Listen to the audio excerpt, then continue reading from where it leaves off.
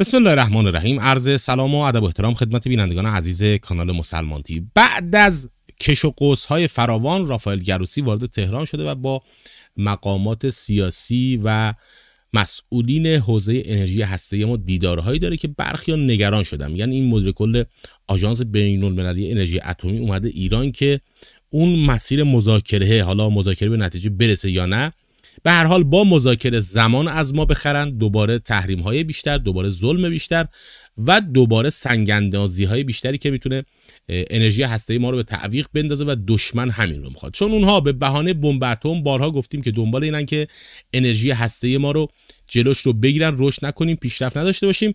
چون می‌دونن از قبل این پیشرفت خیلی از مشکلات ما حل میشه و اهرم فشاری که دست اونهاست به عنوان تحریم های جدیدتر اینها بی اثر و خونسا میشه. حالا یه عده نگران شدم میگم پس وعده صادق سه دود شد رفت رو هوا. سردار سلامی همین امروز دقایقی قبل صحبتهایی داشته می‌خوایم با همدیگه ببینیم. اگر چهل هزار فلسطینی را در نوار غزه تحت محاصره و بی دفاع به قتل رسانده اید و آنها را شهید کرده اید صد هزار کودک فلسطینی متولد شده است.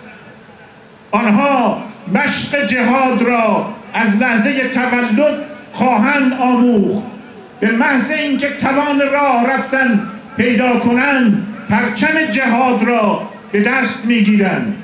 می‌بینید عظمت جوانان حزب اللهی لبنان را با همه ضربات سختی که شما طی ماهای گذشته بر آنان زدید اما آنها استوار قائم مصمم با اراده متحد در میدان ایستادن و هر روز ضربات جبران ناپذیری را بر پیکره شما می‌زنند.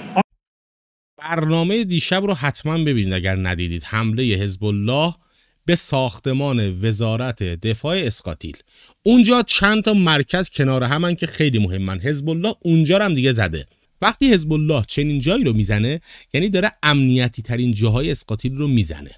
وقتی نتانیابو جلساتش رو طبق اعتراف خودشون میره توی زیرزمین های خیلی مستحکم به قول خودشون در اتاقهای خیلی مستحکم در زیر زمین و فلان دیگه نمیاد به سمت کریا یا جاهای دیگه که جلساتی داشتن.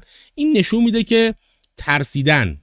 حزب الله جدای از توان نظامی توان اطلاعاتی و امنیتی خودش رو داره به رخ اسقاتیلی ها می‌کشه. بنابراین وضعیت به سمت و سوی داره میره که یک تقابل جدی نظامی امنیتی رو شاید خواهیم بود.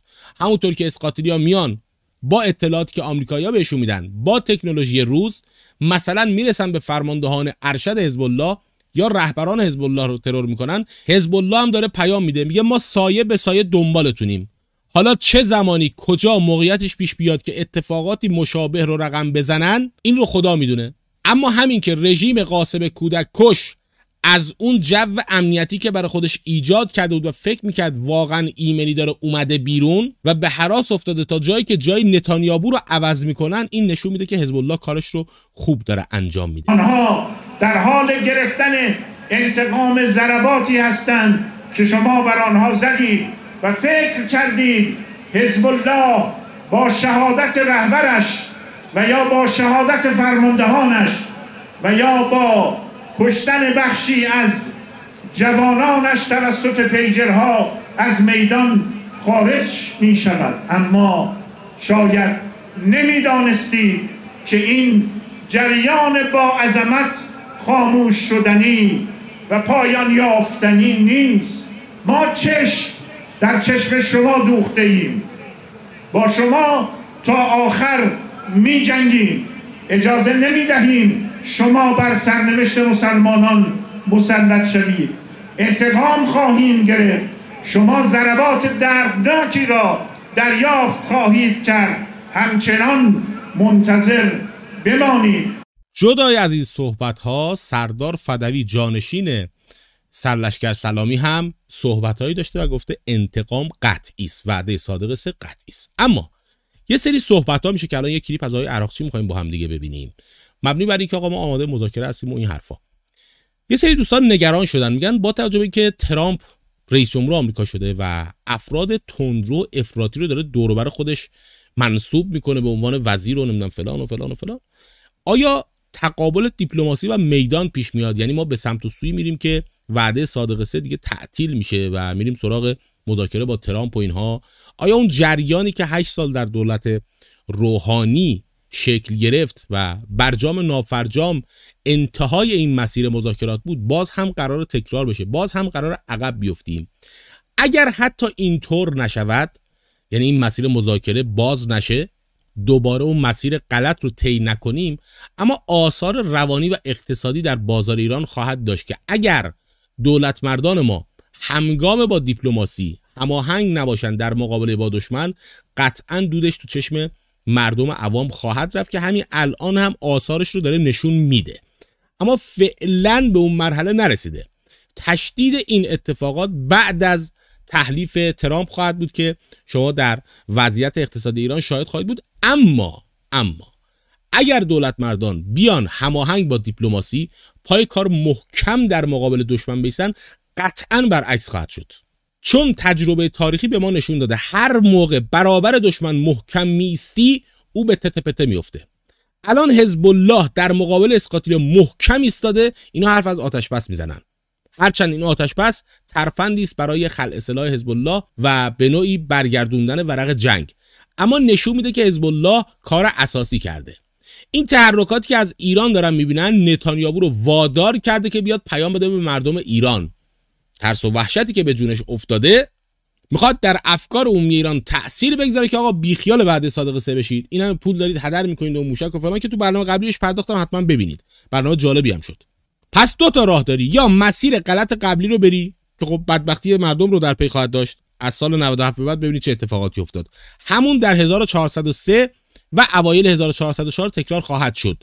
اما اگر مسیر درست رو بریم یعنی دیپلماسی و میدان کنار هم متحد قرار بگیرن علیه دشمن محکم باشن این مسیر برعکس خواهد شد. بریم صحبت های آیه عراقچی رو هم با هم بشنویم. می‌خوام اگه ممنون ما همیشه مسیر دیپلماسی رو در خصوص موضوع هستیمون ترجیح دادیم و ادامه دادیم و همواره هیچ وقت میز مذاکره ما ترک نکردیم. اونا هم ترک کنن ما ترک نمی‌کنیم. ببین الان آمریکا زده زیر میز از برجام خارج شده دیگه. خبرنگار سوال می‌کنه که آقا با آمریکا مثلا مذاکره می‌کنید اینا میگه نه ما همیشه مذاکره می‌کنیم ما ترک نمی‌کنیم. به آقای عراقچی توی مدت خیلی زحمت کشیده ها.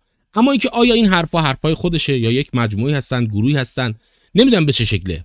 در موقعیتی که دشمن تمام قد داره حمایت می‌کنه از اسقاتیل و در حمله به تو هم مشارکت داشته که اصلا اصل حمله حمله آمریکا بوده. تو روشون نمی‌شد بیان بگن تقابل مستقیم.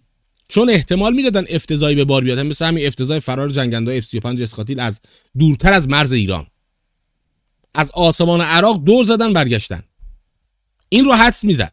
برای همین چون این افتضاح مستقیم نرفته گردن آمریکایی غیر مستقیم وارد جنگ با ایران شد. اما در واقع جنگ ایران آمریکا بود. تو این شرایط که دشمن از هیچ فرصتی برای ضربه زدن به تو دریغ نمی‌کنه تو این موقعیت که ترامپی اومده که سردار سلیمانی تو رو ترور کرده تو این موقعیت که همین ترامپ داره افراد تندرو و ضد ایرانی رو منصوب می‌کنه یا لاعقل سر و صداش هست که می‌خواد اینا رو بیاره سر کار آیا شما باید پالس ضعف بدی؟ بگی ما مذاکره می‌کنیم. آقا مذاکره سر چی می‌کنیم؟ یه آژانس بین المللی انرژی اتمی هست. هر موقع دلش خواسته اومده بازرسی اینور اونور دیدن چیزی ندارن برگشتن. دیگه برای چی باید رو چی باید مذاکره کنیم؟ چی باید بدی بره؟ که اینا راضی بشن. ادامهش هم بشنویم. این طرف های غربی بودن که بعد عهدی کردن. آمریکا بود که خارج شد. بنابراین اگر کسی در این مسئله تخلفی کرده اگر دیپلماسی زیر سوال رفته یا زیر پا گذاشته شده توسط آمریکا و کشورهای اروپایی ما همواره آماده بودیم شروع به مذاکرات خواهیم کرد. اگر که منافع متضمن بشه حتما این کارو منافع ما تامین بشه حتما این کار رو خواهیم کرد. من فکر می‌کنم که آقای عراقچی توی این مدت واقعا خوب کار کرده دیپلماسی فعالی داشته.